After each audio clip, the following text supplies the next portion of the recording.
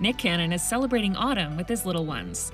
On Wednesday, the proud dad shared a photo of his recent day out at a pumpkin patch with his Tiesi's three month old son, Legendary Love. Nick smiled as he held the infant in his arms, and they both matched the pumpkins in orange looks. The Masked Singer host captioned the shot, I think I found the pumpkin I want, at Legendary Love Cannon. Bre had shared some photos from their outing earlier in the week and wrote alongside them, Legendary takes the pumpkin patch.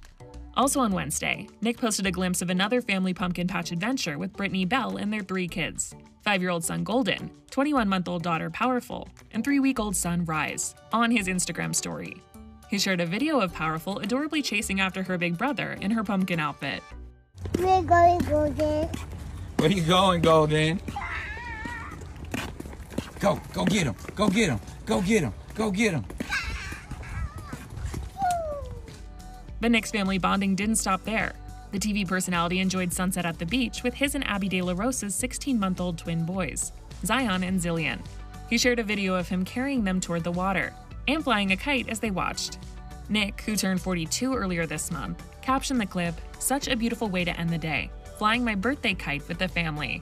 Abby posted videos of their time together and revealed that it was their son's first time touching the sand. Yeah. Nick is frequently making special memories with his kids. In addition to legendary, golden, powerful, Rise, Zion, and Zillion, the Wild and Out host is also dad to 11 year old twins Moroccan and Monroe, whom he shares with ex wife Mariah Carey. He and Lanisha Cole also share a one month old daughter named Onyx. Nick and Alyssa Scott also welcomed a son named Zen in June of 2021. The little one tragically died of a brain tumor at just five months old.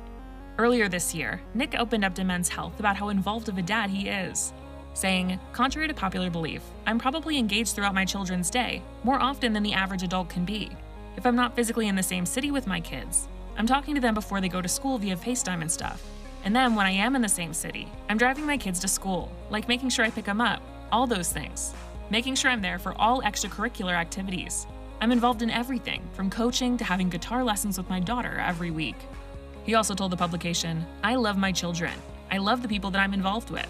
People often ask, Are you gonna have more? You gonna stop? I'm like, these are questions that I don't I don't really even sit around and think about. I'm just walking in my purpose and trying to be the best father and best provider I could possibly be.